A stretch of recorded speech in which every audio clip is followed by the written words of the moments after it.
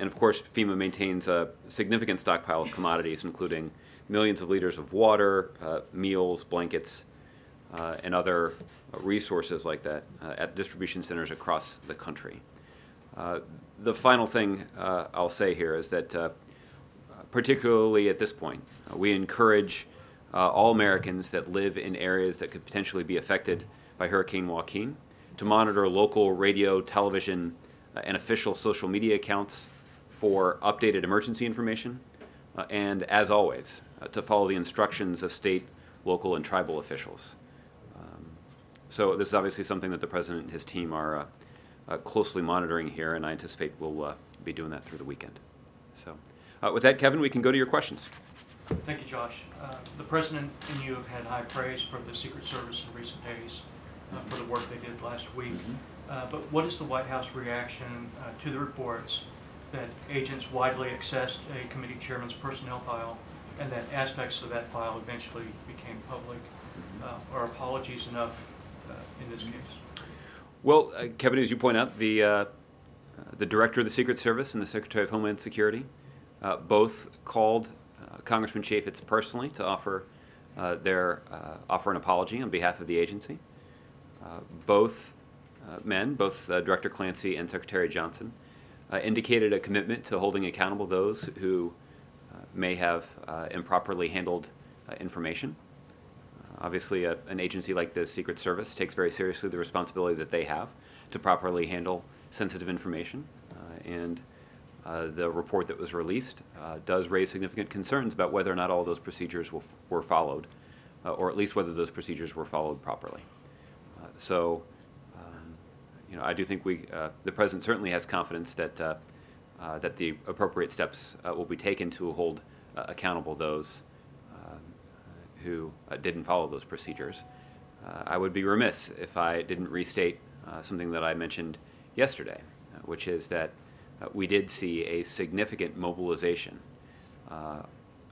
under the command of the Secret Service over the last week to professionally uh, and effectively provide security for the visiting dignitaries uh, to the United States. That included President Xi, who made a high profile visit to the United States, including a visit here to the White House, obviously Pope Francis, uh, as well as uh, more than 100 uh, dignitaries uh, in New York for the United Nations General Assembly. The Secret Service wasn't just responsible for providing for the security of each of those individuals, particularly when it comes to the Pope, uh, there were hundreds of thousands, if not millions, of Americans over the course of uh, his visit who made an effort to try to see him. Uh, and the Secret Service was responsible not just for his security, but also for the security of those Americans who participated in those events. Uh, and so I think the, the results of that visit uh, and, um, and the security that was provided is a testament to the tremendous professionalism and competence uh, of the men and women of the Secret Service. And you know, when there are mistakes that are made, uh, the we've seen the director uh, do the right thing, which is step up and take responsibility for them, offer an apology where it's appropriate, but also uh, assure not just Congressman Chaffetz, uh, but also the president and the American people that there will be accountability. and I think we can have confidence that that will happen. Has the president lost confidence in leadership over there to address this appropriately? Uh, not at all. And in fact, I think their uh, initial response to uh, this uh, report, I think, is a, a, strong indication that there is effective leadership in place at the Secret Service. Uh, to say nothing of uh, the effective completion of the very difficult but core mission that Secret Service carried out over the last week or so in the midst of a series of high-profile visits. One more. Russia's foreign minister says his country and the U.S. coalition see eye to eye on targets of their fight against terrorism in Syria. Uh, is that accurate, and does that reflect the activity over the past uh, 48 hours as the U.S. sees it? Well, as the Secretary of Defense uh, acknowledged yesterday in his news conference, uh, you know, the early indications from the Russian military operations is that despite their claims that they're focused on ISIL, they're actually carrying out military operations where there are few, if any, ISIL forces operating. Uh, so it certainly calls into question um, uh, that declaration. Uh, and it raises the concerns that you've heard us state previously uh, about how, if Russia is genuinely focused uh, on fighting ISIL, then they will make the kind of constructive contribution to the 65 member uh, anti ISIL coalition that the United States is leading.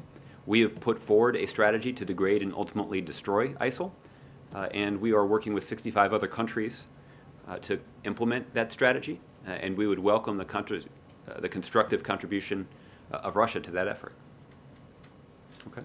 All right. Jeff. Josh, following up on that, does President Obama feel that President Putin broke his word after their meeting this week with regard to their intentions in Syria? Well, the conversation that the two presidents had focused on um, a range of things about the shared interests that we have uh, in stopping the spread of, uh, of ISIL extremists uh, and the um, uh, uh, and certainly to counter uh, the safe haven that they're trying to establish for themselves inside of Syria. there was also a, a shared view when it came to the need for a political transition inside of Syria. We have long made the case that the root of Russia, uh, of Syria's problems, uh, are uh, is the political turmoil inside of Syria, uh, and the only way to address, you know, whether it's the spread of ISIL or the significant humanitarian crisis uh, that started in Syria, is to address the fundamental political problem there, uh, and you know, the case that we have made, and the case that generally Russia has acknowledged is the need for a political transition. Now, there are important differences of opinion about what that political transition ultimately looks like. Uh, but there was agreement about the need for some kind of political transition inside of Syria. Strikes, uh, and so when it comes to the uh, airstrikes, you know, we've indicated that we would welcome a constructive contribution from Russia to the um, anti-ISIL uh, coalition, uh, and uh, we haven't seen them be prepared to do that yet you also agree that there would be talks to deconflict um, the operations? These Russian airstrikes today happened before those talks. Mm-hmm. Is that does that indicate that these that the talks are even worth having? Uh, they are worth having, Jeff, and they continue to be both a priority for President Obama and for President Putin. And in fact, uh, I can tell you that there was a, a call that was hosted today uh, by U.S. Uh, defense officials uh, and some of their Russian counterparts. Uh, this is a telephone call that lasted uh, about an hour uh, today. Via it took place via uh, video teleconference. Uh, it was led by Elissa Slotkin over at the Pentagon. She is the acting Assistant Secretary of Defense for International Security Affairs. the discussion focused on ways the United States and Russia can communicate and effectively deconflict our operations inside of Syria. Uh, there were, th- and in some cases, these were actually uh, uh, some basic aspects of our operations uh, that um, we want to try to agree to to avoid uh, unintended consequences here. these are so there was a discussion about ensuring that aircraft, military aircraft inside of Syria, are operating consistent with international rules and safety regulations. Uh, there was a discussion about uh, ensuring that military personnel operating inside of Syria are, are communicating on internationally recognized channels. Uh, and all of this is an effort to uh, deconflict uh, our ongoing operations there. Uh, this was the first discussion of what I anticipate will be um, a series of additional discussions about, um, about deconflicting our efforts. And in the context of that call, I'd be remiss if I didn't point out uh, that once again, uh, the acting Assistant Secretary of Defense, um, Elissa Slotkin, underscored the importance of focusing our efforts on our shared objective, which is uh, degrading and ultimately destroying ISIL. Uh, and, um, and she pointed out that the Russian military operations that we've seen so far uh, raise some concerns because Russia is targeting areas where there are few, if any, ISIL forces operating.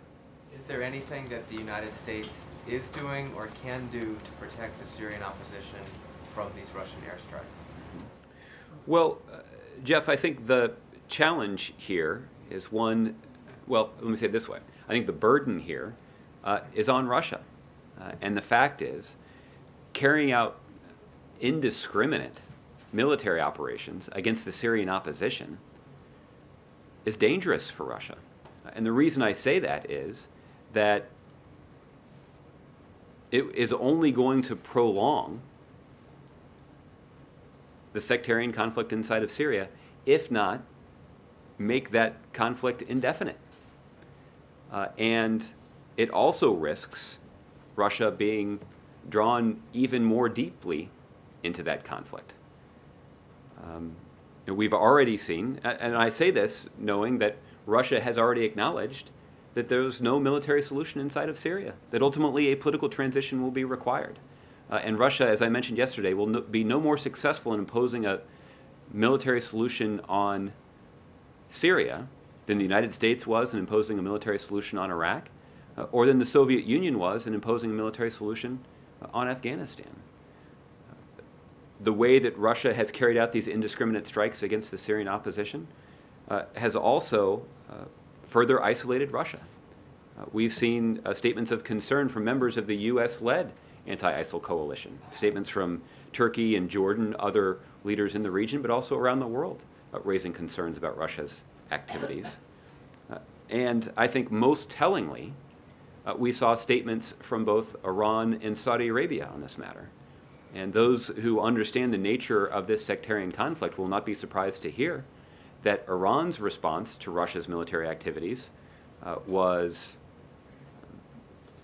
uh, was one that was filled with words of praise, uh, while the statement from Saudi Arabia was filled with words of criticism. Uh, and I think that that uh, I think highlights uh, the risk that Russia is running here.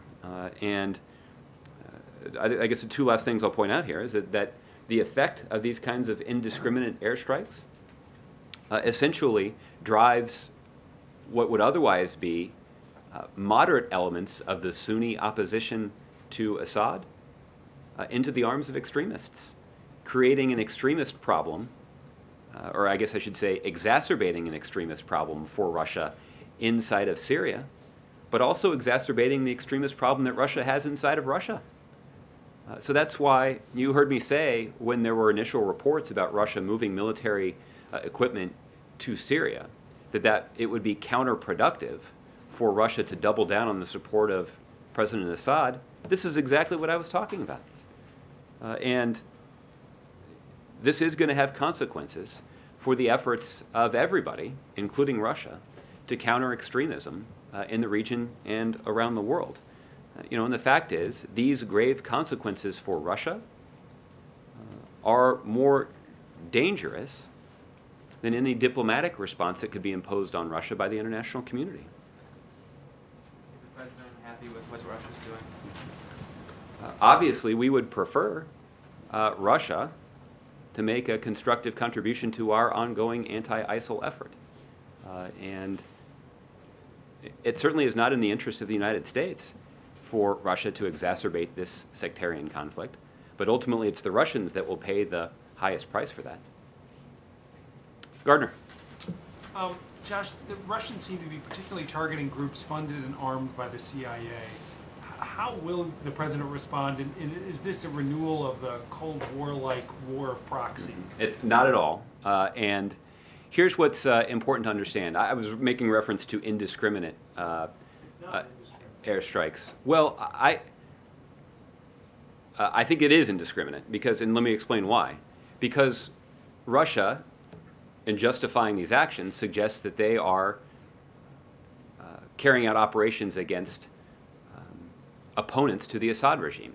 The fact is, there are extremist, ideologically driven, essentially terrorists who are opponents of the Assad regime. These are groups like ISIL and Nusra that uh, have been the focus of, uh, of our operations. There are also elements of the Syrian opposition that are, could more accurately be described as moderate elements of the Syrian opposition that are simply arming themselves to try to defend their communities, their homes, uh, and, uh, and themselves. Uh, the Assad regime has been carrying out terrible acts of violence uh, against these, uh, these, um, these civilians. and that, so that's the kind of indiscriminate activity that we've seen Russia engaged in.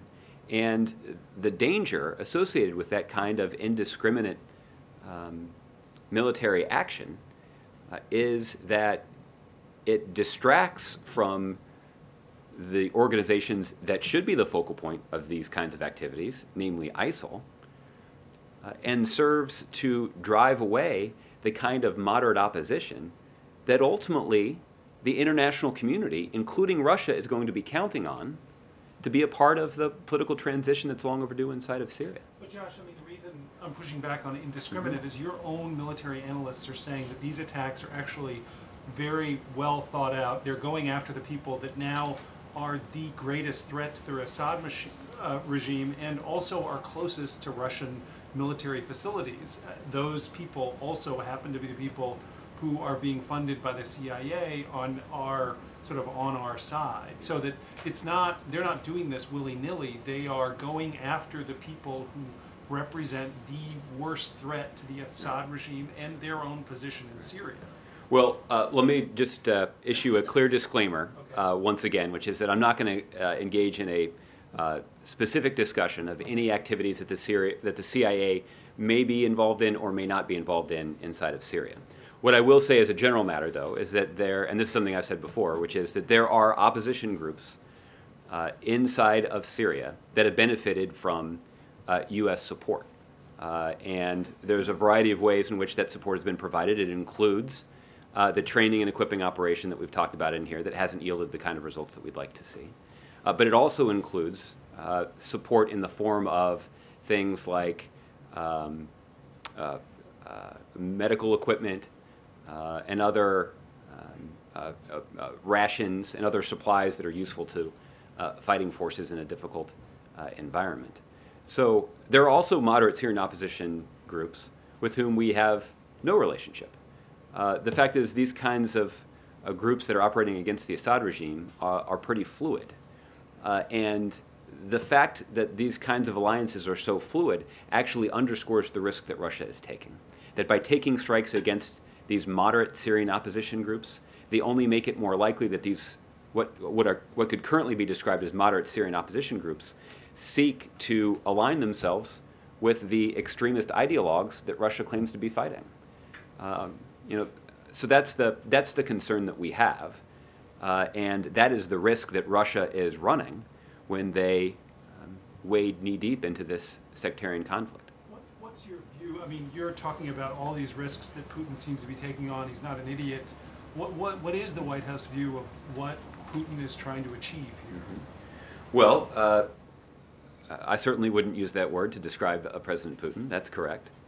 Uh, but you know, I, I, think for weeks now we have indicated a lack of clarity about what Russia's true intentions are inside of Syria, uh, and that is to say, that is not to leave anybody with the impression that the United States was somehow surprised that Russia was actually using that military equipment that they uh, moved into Syria in the last few weeks, but rather to describe um, the choice that President Putin faces about how to uh, protect Russia's diminishing influence inside of Syria. Uh, the fact is, Syria has been the client state of Russia in the Middle East for years. And Russia has made a significant investment in that client state. Uh, and over the last five years, Russia has seen that client state uh, essentially unravel. Uh, and it has risked the significant investment that they have in that country. And uh, this significant military deployment is aimed at shoring it up. and the question that uh, President Putin faces is how exactly to shore that up. Uh, and continuing down a path of carrying out military operations in an indiscriminate fashion against the Syrian opposition is actually going to run counter to the stated goals of, of Russia because it only will prolong uh, the sectarian conflict that has torn that country apart. One more i, I want to put this gently, but there seems to be this view that Putin keeps stealing your lunch money. You know, there's a kind of that he seems to be. I've heard that before. Yes, exactly. Yeah. What is there? Are you just have to sort of wait out that view? I mean, there's this sense of this sort of playground battle that he seems to be getting the best of the president on. Yeah. How, how do you fight that, or can you not, or do you just leave that aside?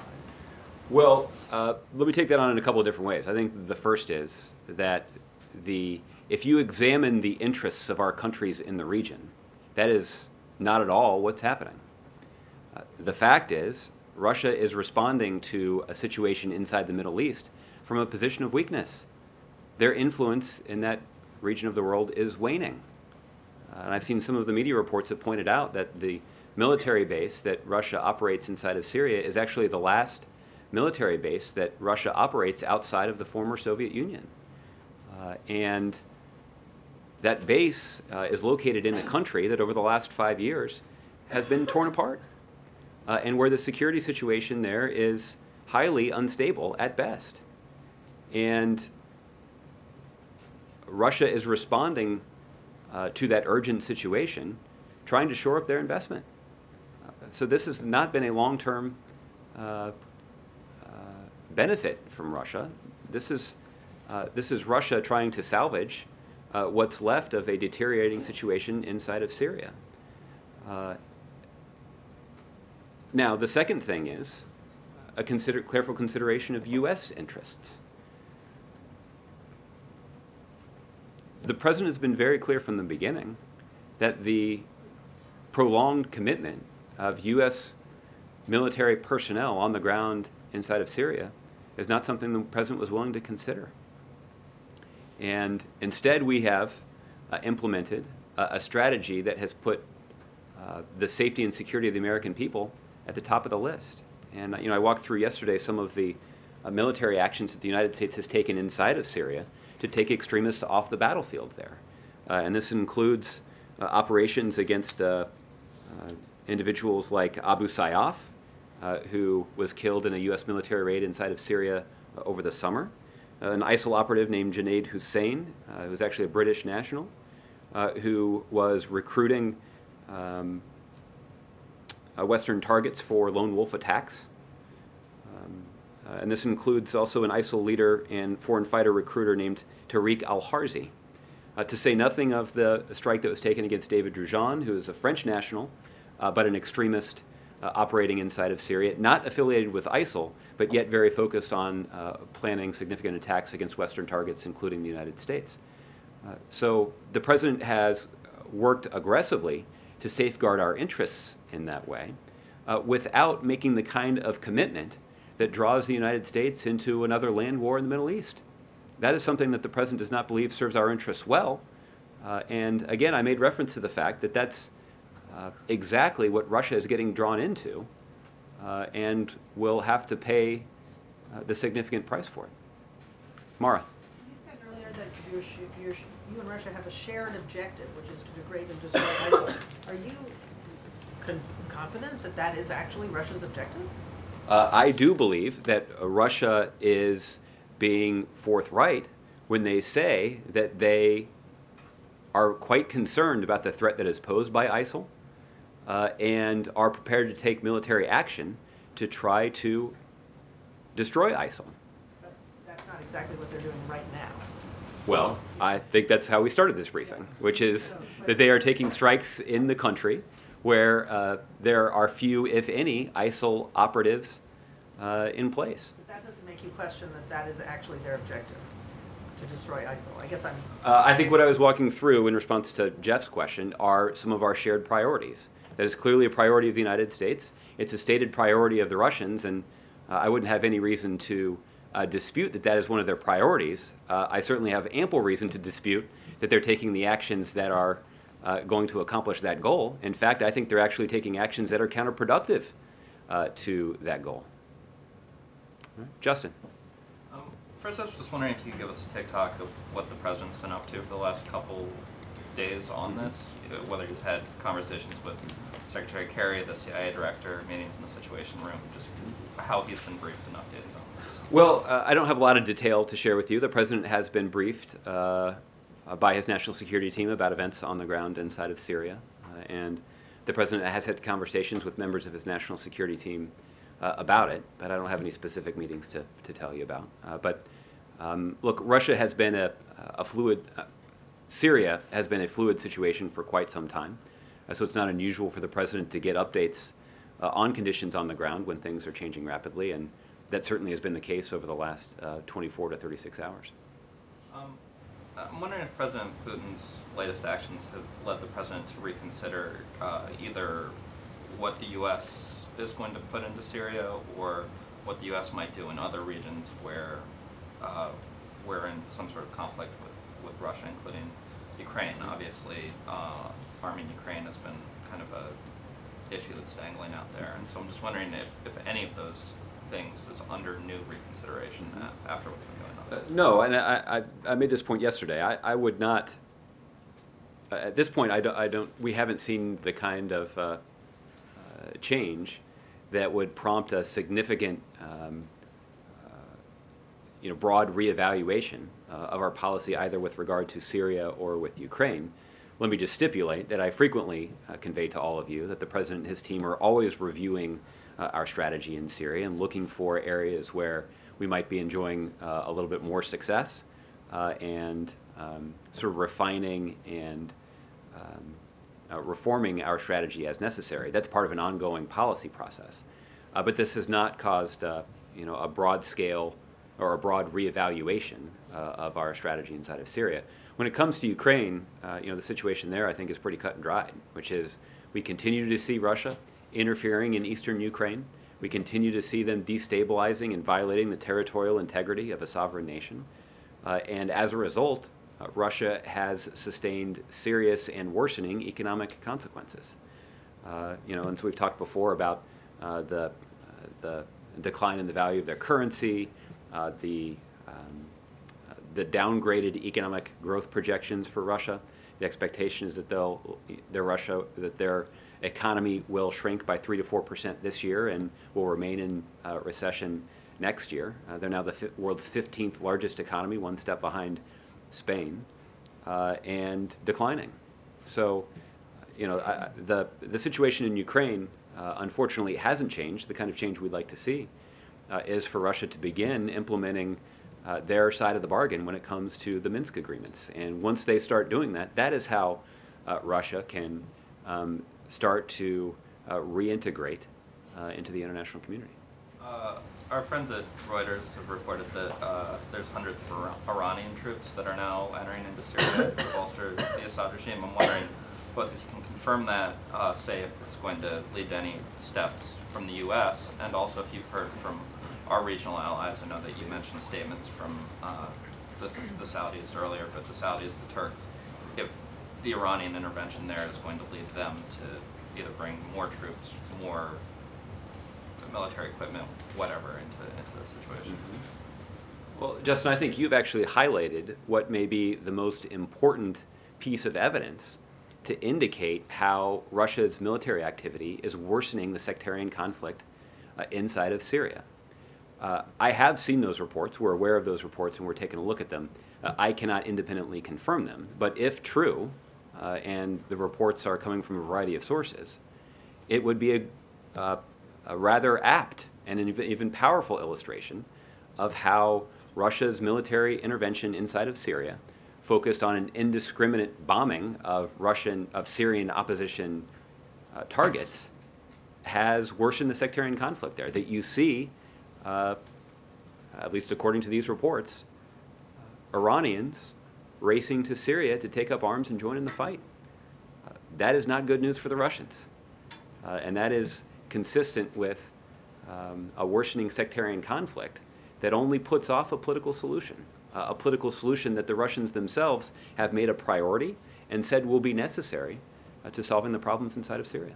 And the last one, um, just to shade off the conversation with Gardner, I, I know that you can't confirm um, whether the CIA has backed any of the rebel groups that were uh, targets of, of the, this bombing, but do you know if any of the targets received U.S. backing of some sort, any sort of assistance? And if so, or even if not, what your message to rebel groups that might want to work with the U.S. would be, who are worried about uh, that not providing them any protection against the Russians. Well, for uh, well, I'll just restate again that I will not be in a position to, to discuss uh, uh, uh, any activities that the CIA may or may not be responsible for inside of Syria. Uh, but for a more specific analysis of the targets that were hit by Russia yesterday, uh, I'd refer you to the Department of Defense. I certainly wouldn't rule out the possibility that there may be some opposition groups in that part of Syria uh, that have received support in one form or another uh, from the uh, United States. Uh, and again, it reflects the risk that Russia is taking by carrying out these kinds of indiscriminate operations. By failing to discriminate between ideologically driven extremists like ISIL and Nusra uh, and moderate Syrian opposition elements that have a political concern with President Bashar al Assad's leadership and have taken up arms solely to defend their families and their communities, um, is going to lead to bad outcomes for Russia. It's only going to deepen the sectarian conflict.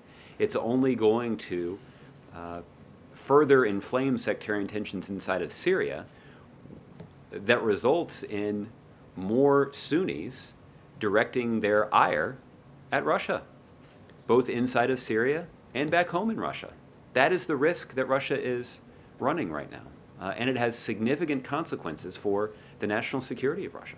Real last one. Uh, I know that you you said that you weren't surprised that Russia had used its its um, uh, the military equipment that it had been Mhm. bringing in. Were you surprised by the targets that they had, they had chosen in this Mhm. initial wave? There had not been a discussion uh, between, uh, between the presidents uh, in their meeting in New York on Monday uh, that included uh, operational details.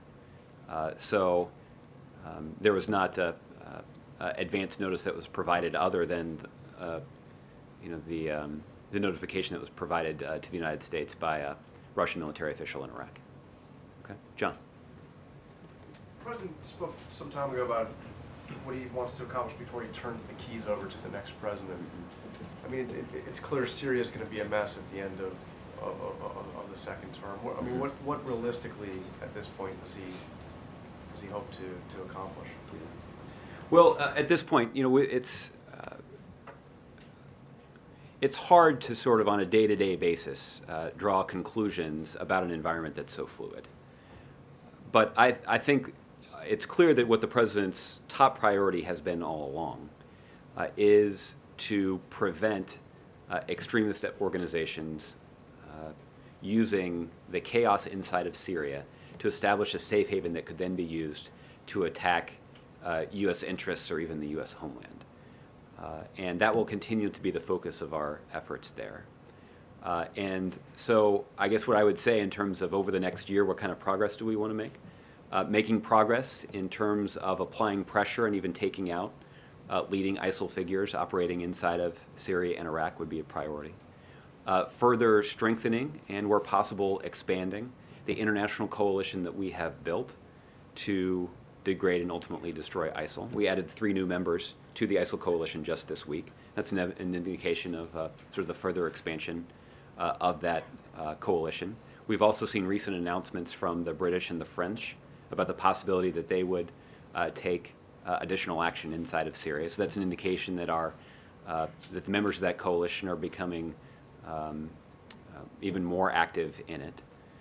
Um, and then the third thing, and this in some ways this is the most, most difficult one, is there's no military for all this discussion of uh, our uh, our military actions there, which are critical to uh, the national security of the American people. For all of that military action, we are going to ultimately need a political transition. There's no military solution that can be imposed on Syria. A political solution will be required, and uh, you know, hopefully over the next uh, year or so, we can make more progress than we have so far uh, in trying to um, uh, at least build a mechanism uh, for uh, talks about a political transition to take place. Didn't Putin have a, a point when he said at the UN that right now the only forces, back to the military component, Mhm. the only forces on the ground that are battling extremist groups like ISIS are forces of President Assad and Kurdish militias. Well, uh, I'm not sure. Uh, you can check with the Department of Defense on this, but I'm not sure that President Putin has a very strong case when he talks about Assad's forces fighting ISIL. The fact is, Assad's forces have predominantly been engaged in the kind in the areas where we saw Russia take strikes yesterday. Uh, and again, those are areas where there are few, if any, ISIL forces. So I'm not sure that his case is very strong there. His case is stronger when he talks about the effectiveness of uh, some Syrian Kurds and Syrian Arabs uh, who have been taking the fight to ISIL on the ground. But those are precisely the opposition groups that the United States and our coalition partners have been actively supporting, both through uh, airstrikes by supporting uh, and supporting their efforts on the ground, but also in providing the kinds of uh, uh, equipment and material that are that are valuable in uh, in a fighting environment like that. But, but then there's just last question. So, the, but the president's resolve, he, he has said consistently for some time now that Assad must go. Uh, uh, remains. There's no. You, you, you're adding the word now, and you have for some time. Ultimately, uh, you know, political. Ultimately, a political transition. Yeah. Is, is, is there any solution that would involve the Russians, as you said, is necessary, that would continue Assad's, uh, uh, you know, role as, as the as the president of that country, uh, you know, for some period of time? Well, let me explain the use of the word ultimately. Uh, the reason I keep using that has less to do with Assad and more about uh, explaining why, if a political solution is required, why the United States continues to take robust military action to protect the country. And uh, it, by saying this situation only ends with a political solution, um, I, I don't want anybody to be left with the impression that we're not going to do anything until we start to get a political solution. So that's why I typically use the word ultimately there, that we're going to do these other things to protect our interests and to protect the country while we pursue a political solution. But when it comes to Assad, which is a legitimate question, the things that Assad has done inside of Syria, uh, perpetrating terrible acts of violence against innocent civilians, uh, have caused him to lose the legitimacy to lead that country. Uh, and I'm referring to legitimacy in two different ways. The first is he's lost the moral legitimacy to lead that country. No leader who's willing to use the military of that country to carry out uh, heinous acts of violence against that country's citizens uh, is fit to lead the country. So there is a simple moral case about what uh, Bashar al Assad has perpetrated on, uh, on other human beings, Syrian citizens. But there's also a more practical argument to be made about how Assad has lost legitimacy to lead that country, which is that there are, that depending on sort of how you draw the lines, probably 80% of the Syrian pop- population no longer views him as a legitimate leader of Syria. They don't, he no longer exercises authority in the areas where they live. They no longer view him as a legitimate leader of Syria. So if we're going to try to unify that country again, something that Secretary Kerry has said uh, that Foreign Minister Lavrov told him uh, is a priority of the Russians. That as just as a practical matter, just doing the math, if 80% of the country uh, is not controlled by or is viewed by uh, Assad as a legitimate leader, it's not possible for him to continue to lead that country, which is why we need the kind of uh, political transition uh, that includes a moderate Syrian opposition. This is the, the inherent tension in the case that the Russians continue to make they say, well, we need a political solution inside of Syria, uh, and that's why we're supporting Assad. It is not possible to have a political transition inside of Syria that results in Assad continuing to lead the country because he's not supported by uh, the vast majority of that country's citizens. So, okay. Major. Josh, you used the word indiscriminate many times today. And I want to try to see if you and the administration are arguing that, that it is indiscriminate because it's an accident or it's indiscriminate because it's intentional. Because there's a big difference between the two, and it goes to the likely U.S. response should this behavior continue. Uh, let me try to say it more clearly, which is that we believe it is important, and this is uh, clear in the operations that the United States and our coalition partners have taken out, have, have carried out. It's important to discriminate between the targets that you're considering. The, uh, the United States and our coalition partners have discriminated in those targets. We have focused on hitting uh, ISIL targets predominantly. There are other extremist organizations that we've obviously carried strikes, carried out strikes against, uh, and we've avoided taking strikes against members of the moderate Syrian opposition. Uh, and it's Russia and the Assad regime, frankly, that have that have essentially described the Russian or the Syrian opposition as essentially one unit, and failing to discriminate uh, between ideologically driven terrorists uh, and Syrian citizens who are just trying to defend their homes and their communities and their families uh, is a grave mistake that will lead Russia even more, uh, even deeper into a sectarian conflict. Thank you for that. Is it an intentional mistake on Russia? because there are some who look at it and say Russia doesn't really know the terrain that well, they're bombing lots of different things, and are not really sure what they're doing. What I'm trying to get at is, do you believe, and does this administration believe, Russia in fact knows what it's doing? It's a miscalculation from your point of view, but it is nevertheless intentional. Uh, it is a grave miscalculation, uh, and it is one that carries significant risks for Russia uh, and for the broader region. But uh, at this point, I don't have any reason to call into question their ability to hit the targets that they intend. So it's intentional. So it's intentional. I think they are hitting the targets that they intend to hit. Thank you very much. Uh, but I do believe that that is, and there's the position of the United States, and I think many observers, that that is uh, counterproductive. Okay, so help me understand what you are saying today and what Ash Carter said yesterday. Ash Carter said many things, among them, the most colorful metaphor of the day, the price goes to him for pouring gasoline on a fire. What I hear you saying is this is a gross miscalculation. We're more or less content with the Russians screwing this up to their own, uh, in their own way, and, and are willing to sort of stand by and watch them inherit all the negative things we think are going to come from this. So which is it?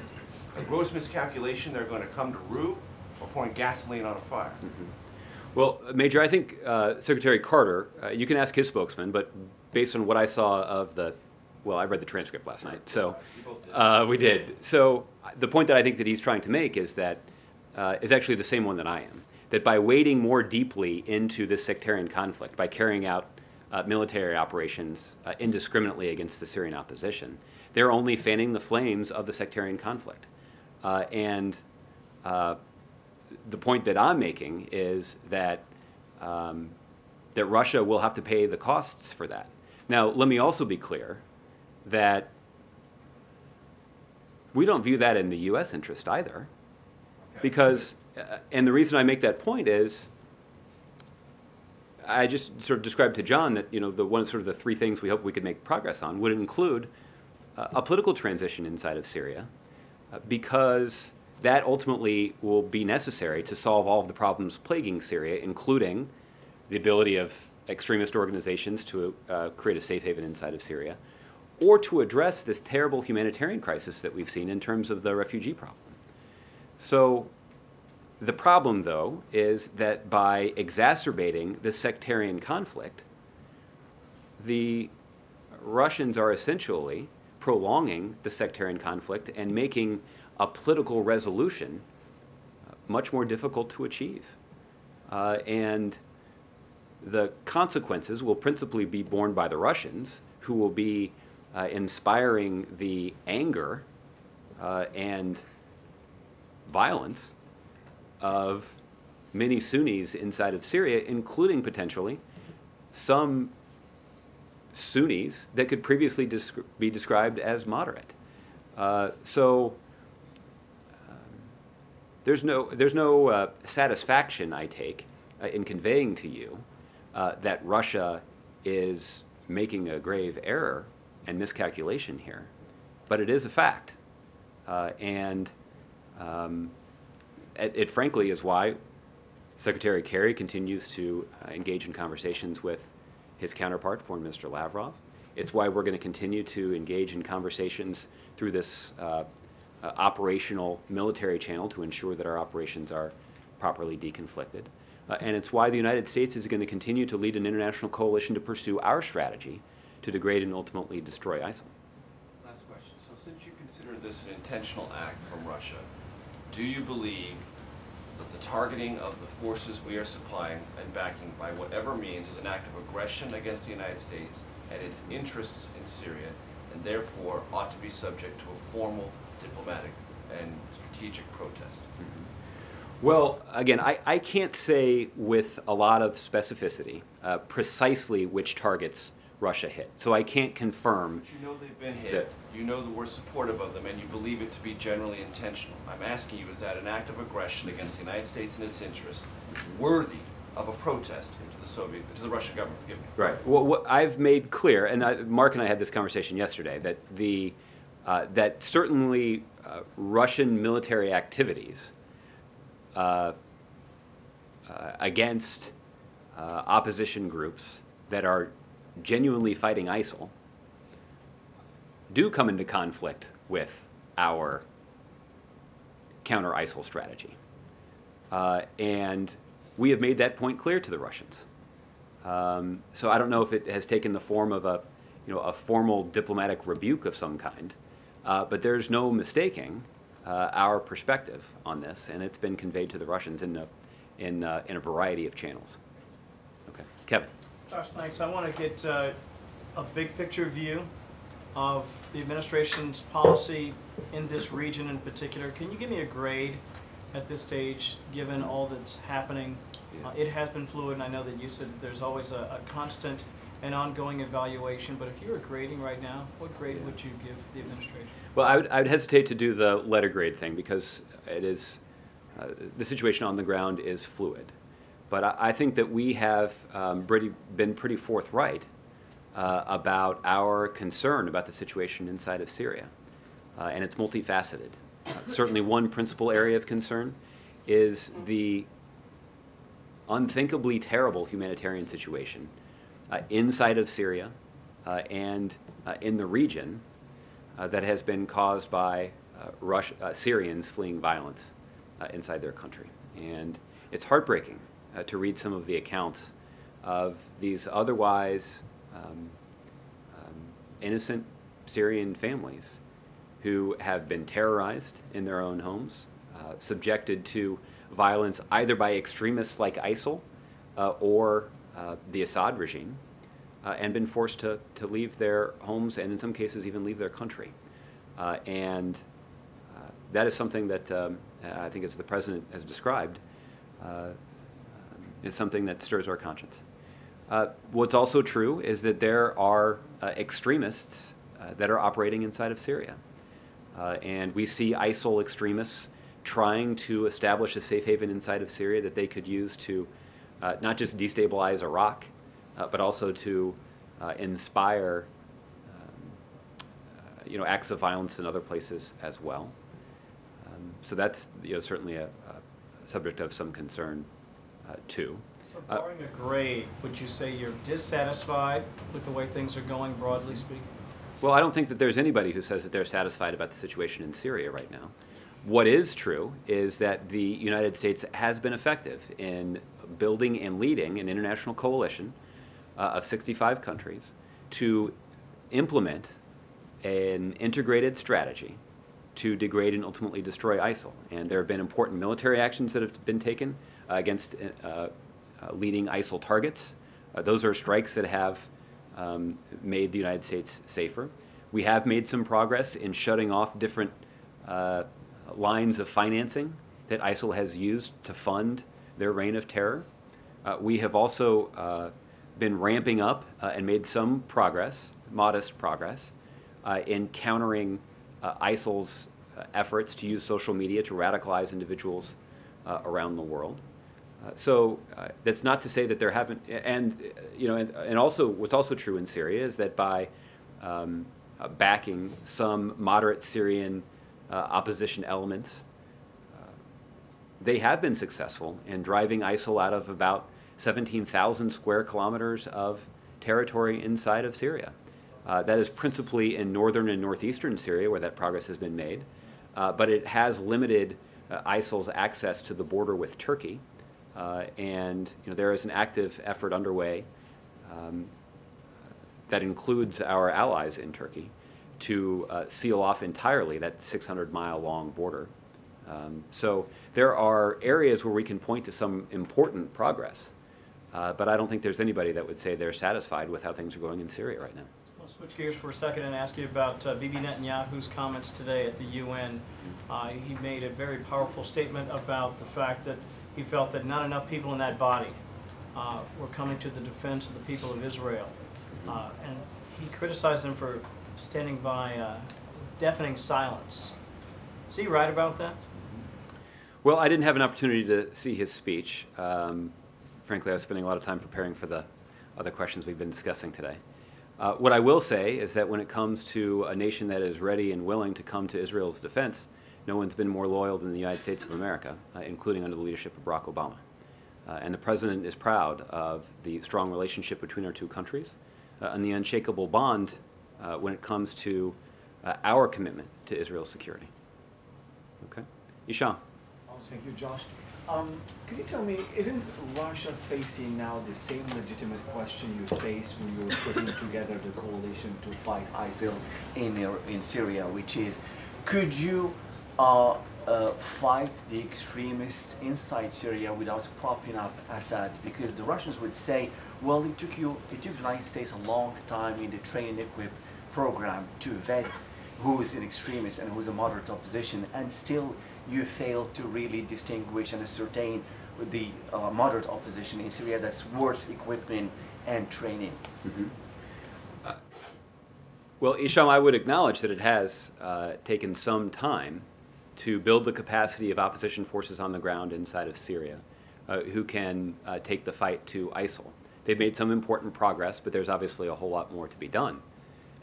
The problem is that progress that they have made is progress that they've made not because of the Assad regime, but actually in spite of it.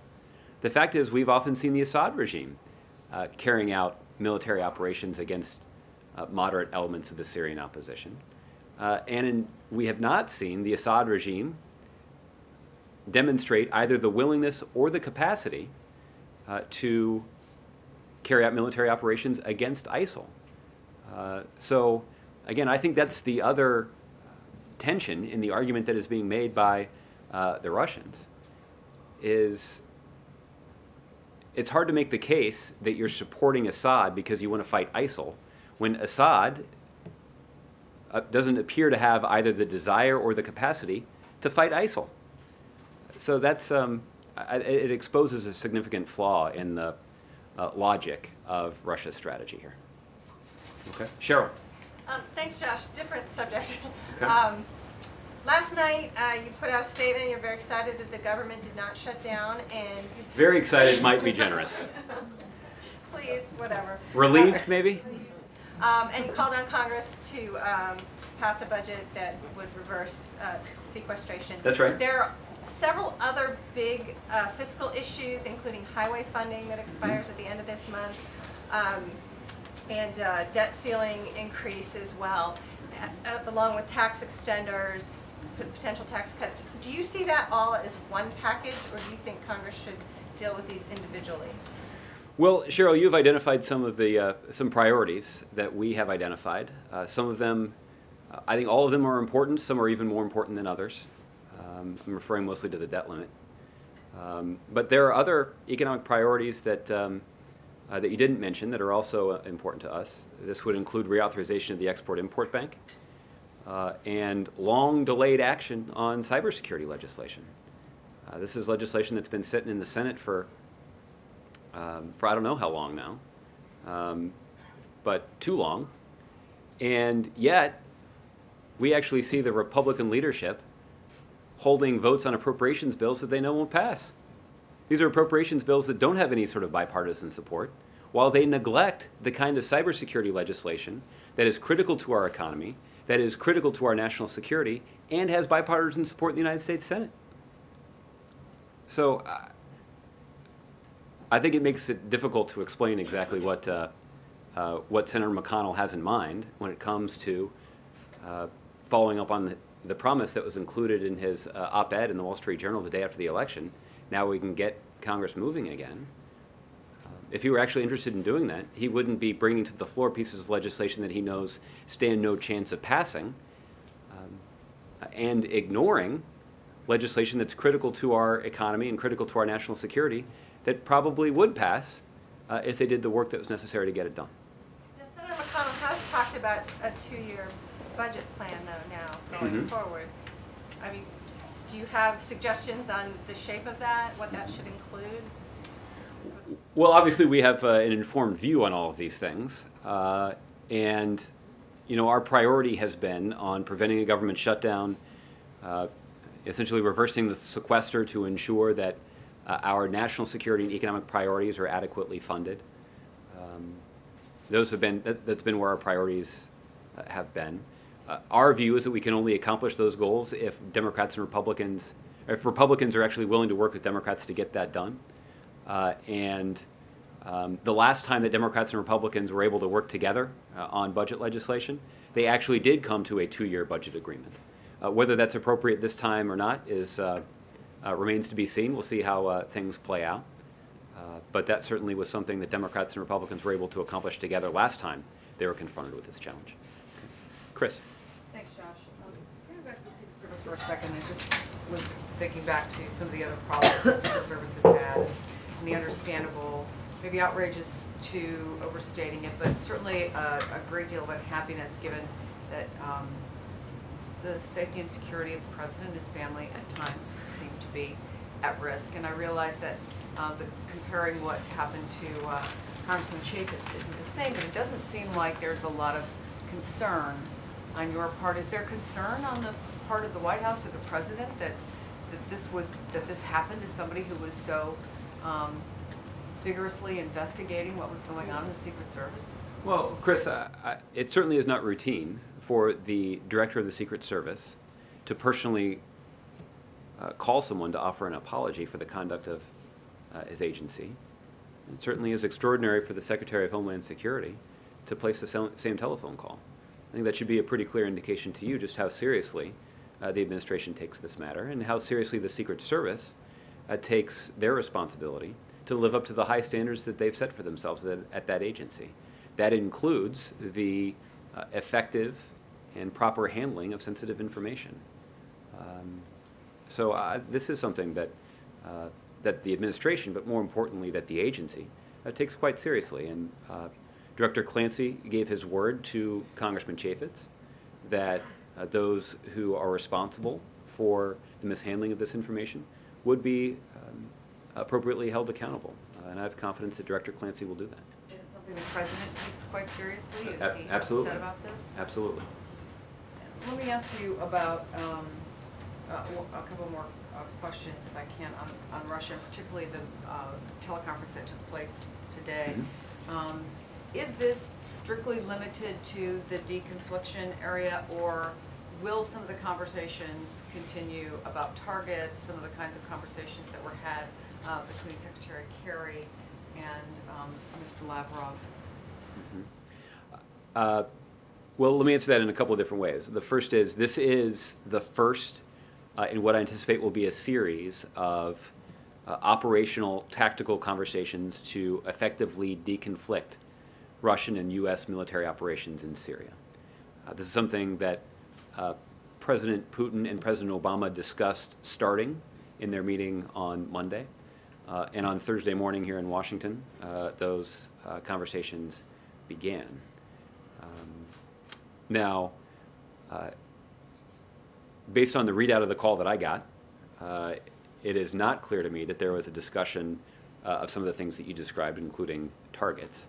Uh, the discussion focused, uh, at least when it came to the U.S. agenda, uh, on ensuring that aircraft are operating consistent with international rules and safety regulations, and ensuring that communications were being conducted on internationally recognized channels.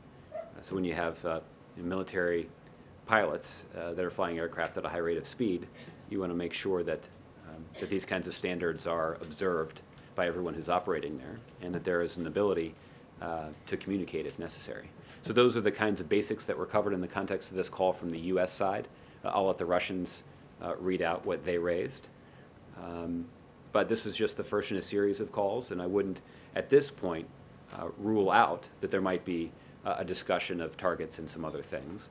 What I will say, however, and this is something that was reiterated uh, on the call by the United States directly to the Russians, is that this call uh, and these consultations do not at all represent a change in our policy uh, of limiting military to military cooperation with the Russians as a result of their actions inside of Ukraine. That policy has not changed, and these conversations will not uh, rise to that kind of broader strategic level.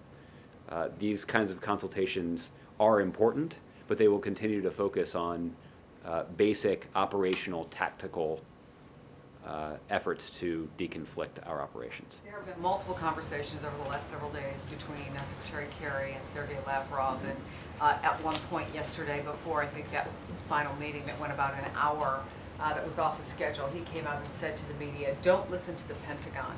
How do you read that statement? Uh, I didn't see that. Um, this is from this is from uh, Foreign Minister Lavrov. Yeah. I'm not sure exactly what he was referring to. Don't want to even venture. No, All right. Um, And I, and this just happened, and so you, it may not even be on your radar, uh, Okay. that apparently there's been a, a shooting uh, at a community college in Oregon, um, in which there may be uh, some fatalities. And again, we don't know any of the details, so I'm not gonna, uh, I don't wanna project. But I just wonder, as the president looks ahead, and I know that um, whether it's written or whether it's in his head, there's sort of this list of his priorities. Um, When you look at things like uh, limiting access to guns and mental illness, the kinds of things that he spoke about so movingly in places like uh, Newtown, is there a sense that a realistic analysis says that's not something that can be high on the priority list because it's not likely to get done? Or where does that sort of fall Mhm. as he looks ahead to how he spends these next fifteen months or so? Well, Chris, uh, the issue of sensible steps that can be taken to protect our communities from gun violence uh, continues to be a top priority of this administration. Uh, there are some common sense steps, things like closing the gun show loophole uh, and others, that have strong bipartisan support across the country. Uh, according to some polling data, there is, there's even a majority of Republicans that support closing the gun show loophole. We have not yet seen that kind of strong bipartisan support across the country translate into legislative support in the United States Congress that's sufficient uh, to pass legislation uh, that would, again, implement these kinds of common sense uh, solutions. That said, we've been pretty candid about the fact that there's no piece of legislation that can be uh, passed into law by the Congress that would prevent every single uh, incident of gun violence. Uh, but there are some common sense things that we can do, and I think uh, the vast majority of the American people, uh, the vast majority of the American people share the president's view in wondering why Congress wouldn't take those kinds of common sense steps. And it's the president's been quite candid about how this is uh, is and has been a source of frustration for him. Uh, it has not at all uh, been lowered on the priority scale, but at the same time, the president is quite realistic that we'll need to see a fundamental change in, in terms of the way the American people communicate this priority to Congress uh, before we'll see a different outcome in the legislative process. Okay, Michelle. Um, how, if Russia is hitting these targets, and- and many now are saying that there's evidence that they are hitting U.S.-backed fighters, uh, how much of a setback do you see that to the coalition's work going forward? And if the goal is deconfliction with Russia, and they're hitting people backed by the U.S. and destroying work that has been done, how is that not, uh, not a confliction? Mhm. And how could that not have been discussed in this initial contact today? Well, I, I think I acknowledged yesterday that the any sort of Russian effort to take strikes against moderate opposition fighters who are fighting ISIL does come into conflict with our counter ISIL campaign uh, and does run into conflict with our counter ISIL strategy.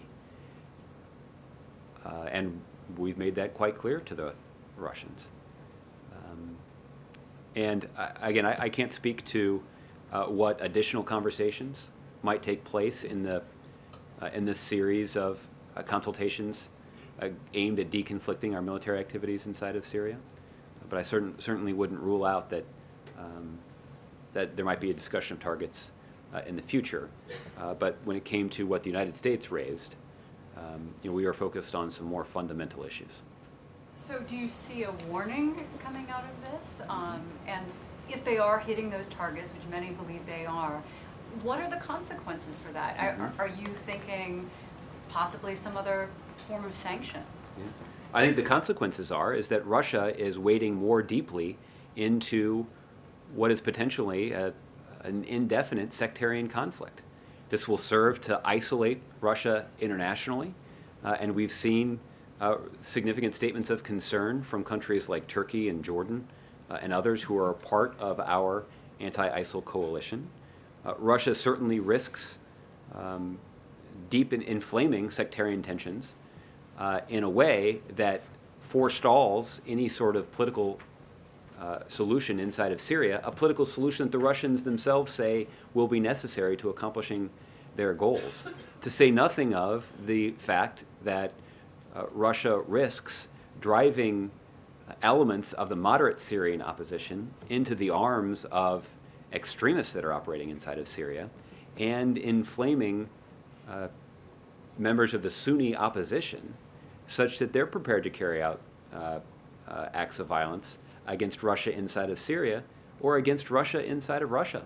This is the, this, this is the risk that is freighted uh, with uh, Russia's strategic decisions here. And uh, you know, as I mentioned earlier, those consequences that I just outlined are far more grave than any sort of international than, than any sort of diplomatic consequences that could be imposed by the international community. So are you saying that there's no way there would be international diplomatic consequences? Uh, I certainly wouldn't rule it out, but it certainly will not be as significant as the prospect of Russia being sucked into a years-long sectarian conflict that only makes them more vulnerable to uh, extremist violence. And again, just to clarify, there's no delight taken here in the United States in Russia's miscalculations. The fact is, Russia's efforts forestall a political solution that we believe is necessary to stabilizing the situation inside of Syria, to prevent the worsening of the humanitarian disaster caused by the refugee crisis, uh, and to prevent the efforts of extremist groups like ISIL from establishing a safe haven inside the chaos of Syria.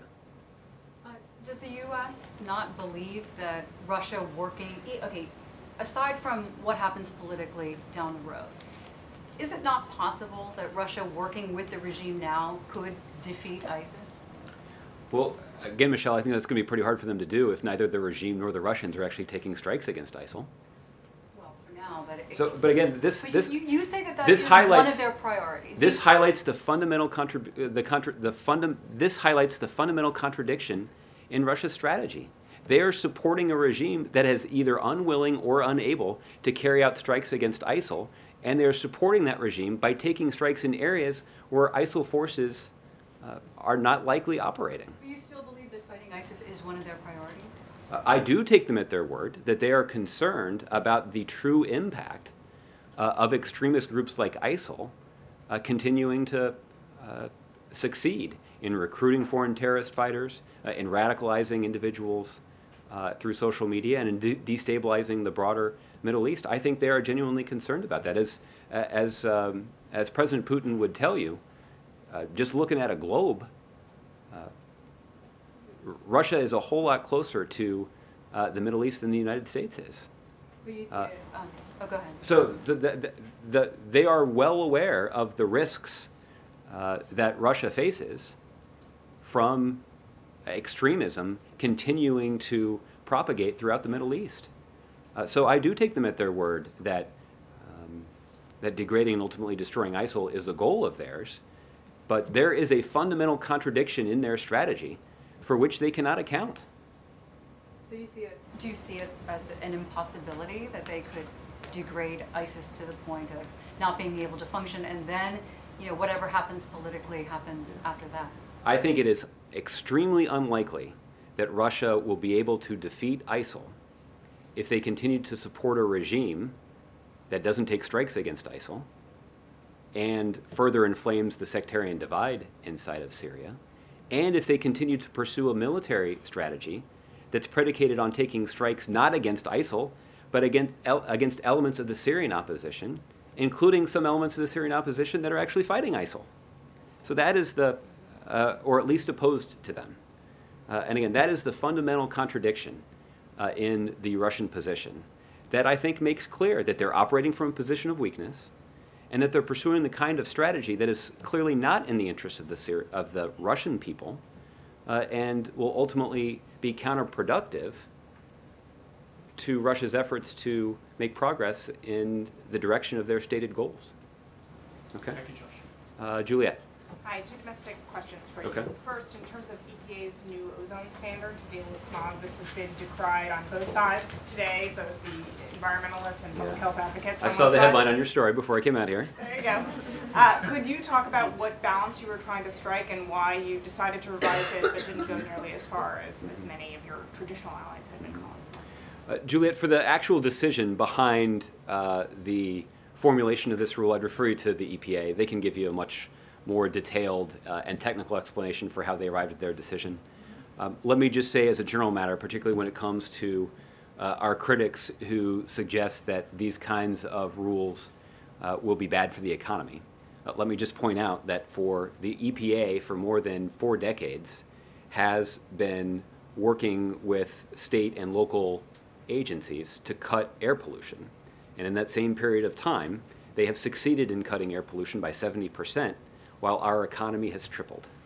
Uh, so I think it certainly calls into question uh, the claims, the dire claims of some of our critics, uh, that this kind of uh, rulemaking is inconsistent with an economic strategy. In fact, the president would make a pretty strong case to you uh, that there uh, is a sound economic incentive for the United States and industries in the United States to be more focused on investments in renewable and clean energy.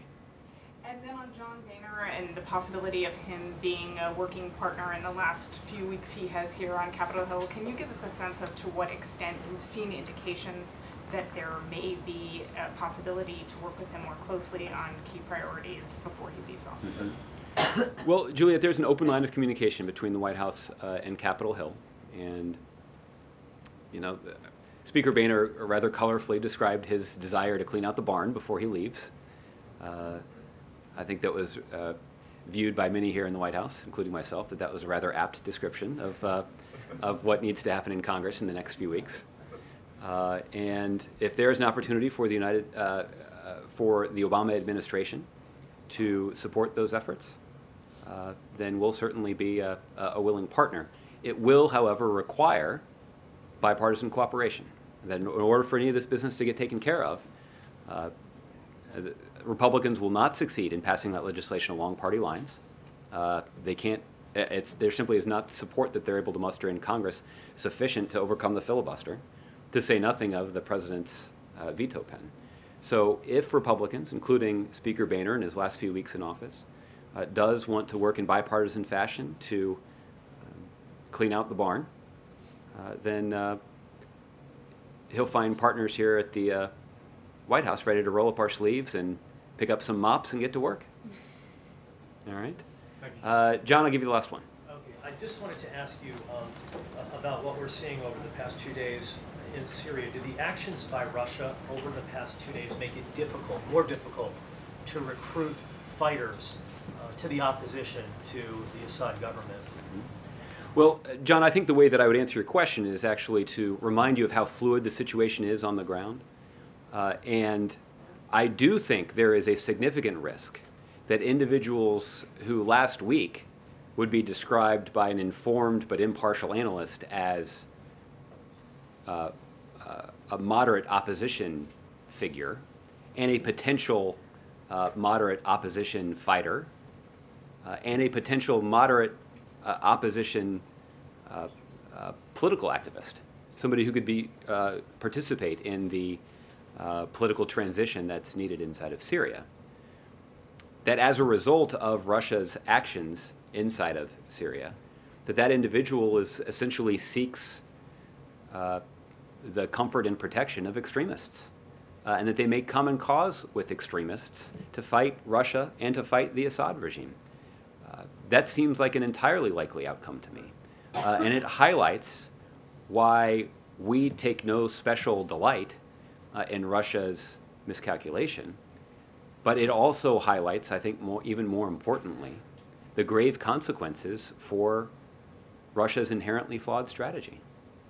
And as far as the deconfliction talks, which took place today, uh, what's next? Uh, are there more talks? Uh, were all the issues resolved today during that one-hour teleconference? Uh, no, uh, there will be additional uh, consultations as they work to deconflict their efforts. So I would anticipate additional um, additional communications between um, uh, uh, Assistant Secretary Slotkin and uh, some other members of the U.S. uniformed military in, and their Russian counterparts.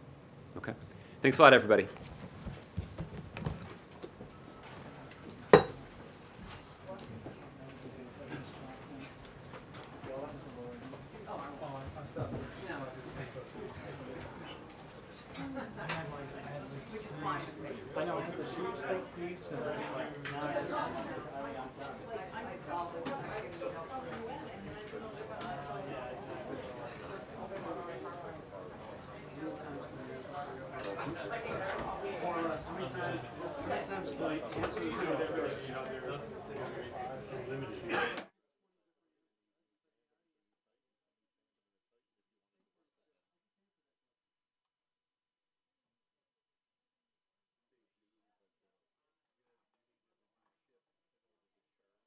The new batteries because they're digital. So apparently, like the thing you try, like you start unplugging it, see if power's. Yeah, like I just pulled the power out of the tight, out of the tight end, it powers it. But See, when I plugged it in, it did that. It, it lost video. But when I turn it off, you know how the lights are supposed